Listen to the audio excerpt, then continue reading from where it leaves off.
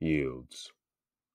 This is the time to be thinking, no use just believing, or the ship'll keep sinking, and we'll all be grieving. This is the time for reasoning, as main course for our dinner, not merely as seasoning, but our stock's getting thinner. We have credos for God, states, and fields, and the bastards are proud, but look what it yields. We become more a mob than a crowd.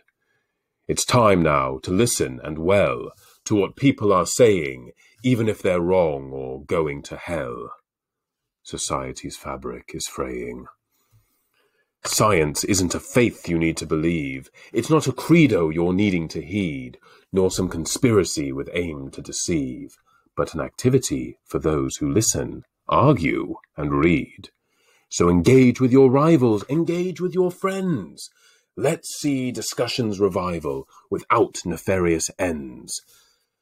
Let's hope hatred dies, not noting the demagogues as they bellow their lies, but debate, not hate, across parties and fields. Take that step back and see what it yields.